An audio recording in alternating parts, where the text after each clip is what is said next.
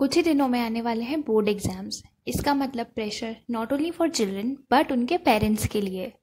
हम इस छोटे से वीडियो में आपको बताएँगे कुछ tips to be a better parent and be stress free during their children's exam first tip is don't stress them out अगर आप उन्हें स्ट्रेस देंगे तो उनका स्ट्रेस भी बढ़ेगा।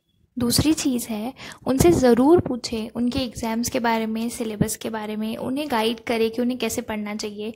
लेकिन कभी भी उन्हें नैग ना करें। बार बार पूछते रहने से बार बार रिपीट करने से उनके ऊपर स्ट्रेस बढ़ सकता है। अगली चीज़ है, जो कि मैंने बहुत बार नोट भी करी है, कि जितने घंटे एग्ज़ाम चल रही होती है, पेरेंट्स उतने घंटे एग्ज़ाम हॉल के बाहर खड़े रहते हैं। प्लीज़ ऐसा बिल्कुल भी ना करें, बिकॉज़ इससे भी बच्चों को स्ट्रेस लेवल इंक्रीज़ हो सकता है। आप उन्हें थोड़ा सा केयर दिखाएँ कॉन्फिडेंस दिखाएँ, उससे उनका भी कॉन्फिडेंस इंक्रीज़ होगा।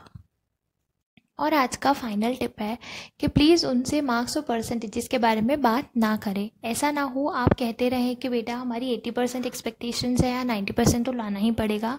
इंस्टेड आप उन्हें ऐसा कह सकते हो कि गिव योर बेस्ट और उससे जो रिज़ल्ट आएगा वो आपको भी एक्सेप्टेबल होगा। ऐसे वो स्ट्रेस फ्री रहेंगे। सो so, ये थे आज के टिप्स ऑल द बेस्ट आपको भी आपके बच्चों को भी.